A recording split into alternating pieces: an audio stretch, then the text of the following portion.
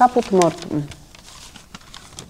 Jako emigrantka nie umiałam przeczytać rany na własnej stopie, a starała się mówić wyraźnie, układała usta niezmiernie cierpliwie.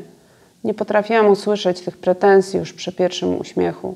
Też nie warto wiedzieć, kim jest ten, kto prowadzi wóz nad przepaść. Kiedy siedzisz z tyłu i po prostu chcesz usłyszeć skoczną piosenkę, w której maki w ciemności trzeszczą, jakby były ozorem krepiny. Od tego dźwięku, nie będącego broszurą, opisem, mogłabym zacząć. Karmiona wrzaskiem po, a stroje się z dziecinnym kalejdoskopem.